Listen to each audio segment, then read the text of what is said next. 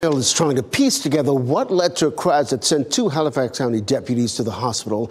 Investigators say a man stole a car in Nash County and then led authorities on a high-speed chase to Halifax town of Weldon, where he crashed into two Halifax deputy cruisers.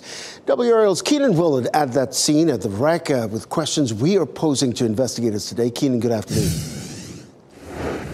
Ken, it came to an end right here at this intersection in Weldon. This is 3rd Street and Sycamore Street. Obviously clear this morning. That was not the case yesterday afternoon. It led up, though, to this moment with this video you can see here. A driver, according to investigators, leading sheriff's deputies from I-95 in Nash County all the way up into Halifax. Deputies throughout the way on this high-speed chase trying maneuvers to try and bring him to the side of the road and end it.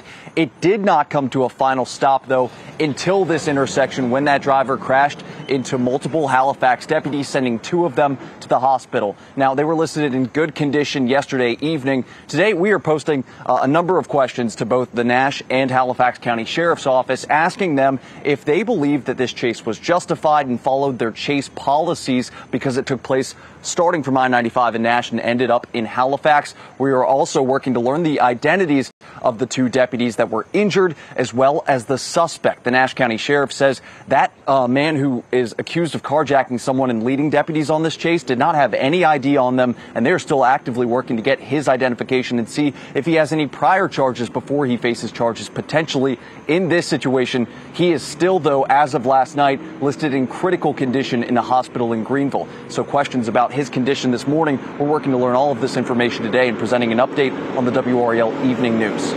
Ken. A lot of layers to that story. Keenan Willard live today in Halifax County. Keenan.